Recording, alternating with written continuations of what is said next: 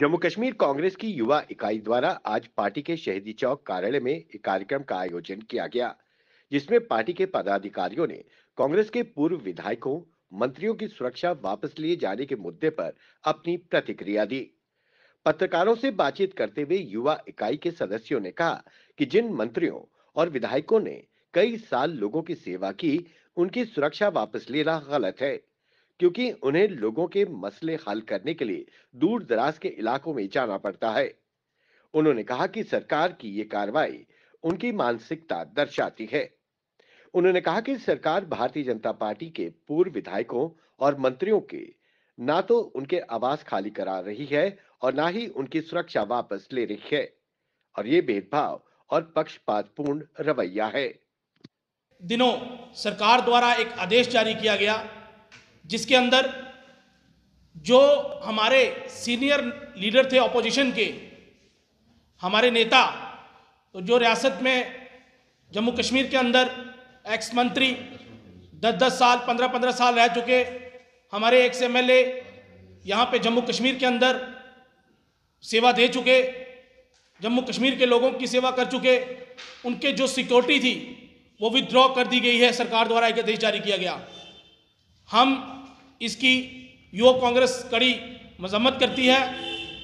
जिस तरीके से ये तानाशाही रवैया सरकार द्वारा शुरू किया गया, इसकी हम मजम्मत करते हैं और सरकार को ये चेतावनी देना चाहते हैं कि हमारे जो सीनियर नेता हैं, उनको दूर दराज इलाकों में जाना पड़ता है। जम्मू कश्मीर के अंदर चुनाव आने वाले हैं और उनको अपनी जो असेंबलियों के अंदर जाना पड़ता है, काम करना पड़ता है। मिलिटेंसी एरिया है। जम्मू कश्मीर के अंदर जिस तरीके से आपने देखा होगा कि पिछले कुछ दिनों हमारे कश्मीर के अंदर सरपंच की मौत हुई, किलिंग हुई।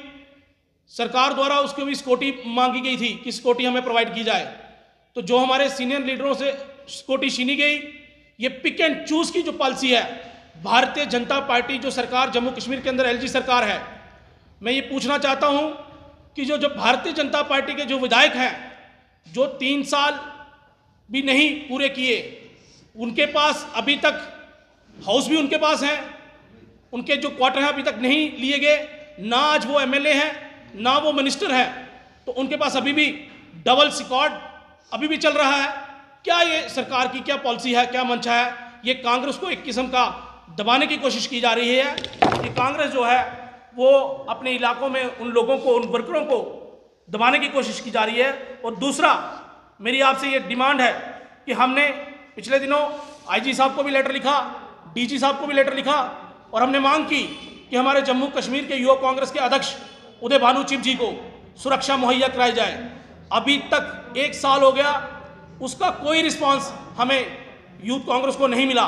तो ताकि हमारे जम्मू कश्मीर के अंदर हमारे जम्मू कश्मीर की रहनमाई करते हैं, हमारे प्रदेश अध्यक्ष और हमारी युवा कांग्रेस की टीम, उनको कोई सुरक्षा मुहैया नहीं करवाई गई। तो मैं ये कहना चाहता हूँ कि कल को अगर कोई हादसा ऐसा हो चुका, मैं डीजी साहब से ये मांग करना चाहता हूँ और एलजी साहब से ये मांग करना चाहता हूँ कि कल को अगर कोई ऐसा हादसा हुआ, इसकी जिम्मेवार जो होगी, वो जम्मू कश्मीर प्रशासन होगा। ब्यूरो रिपोर्ट, जेल के media, Jammu.